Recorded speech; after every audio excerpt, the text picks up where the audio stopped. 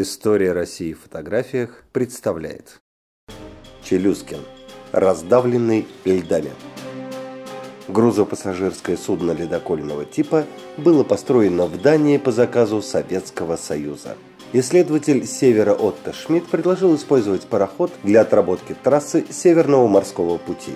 Еще одной целью похода была смена зимовщиков острова Врангеля – с собой взяли продовольствие на полтора года, теплую одежду, спальные мешки, палатки.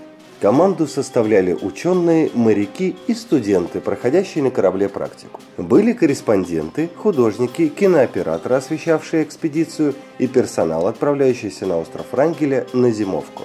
Некоторые взяли с собой жен. 16 июля 1933 года пароход «Челюскин» вышел из Ленинграда. По пути обнаружились дефекты, и судно вошло в родной Копенгаген для устранения неполадок. В Мурманске на судно поместили два разобранных дома для острова Врангеля и разведывательный гидросамолет Ша-2. На маршруте полярники встретили необитаемый остров. Им оказался открытый в 19 веке остров Уединения. На картах его местоположение было указано неверно, но астроном-геодезист Яков Гакель выявил ошибку. Первые льдины появились в Карском море. Челюскин получил повреждения. Для облегчения веса и дальнейшего прохождения был вызван ледокол «Красин». На него сгрузили тысячу тонн угля. В Карском море состав команды пополнился. У геодезиста Василия Васильева родилась дочь, которую назвали в честь Карского моря Кариной.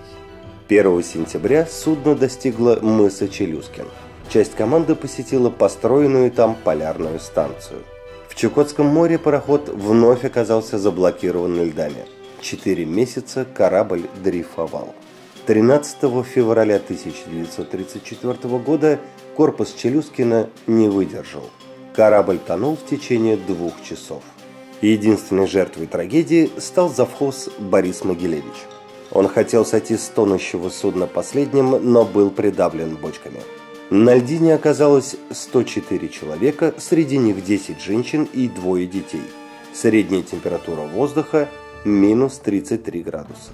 Ежедневно челюскинцы занимались подготовкой посадочных площадок для самолетов. Вечерами читали лекции, слушали патефон. Жили в палатках, питались супами и кашами. В сухой паёк входили галеты, сахар, рыбные консервы. Иногда выдавали мясо и сало трех убитых во время гибели судна свиней. На следующий день после катастрофы в Москве создали правительственную комиссию по спасению команды. 5 марта летчиком Анатолием Лепедевским лагерь был обнаружен.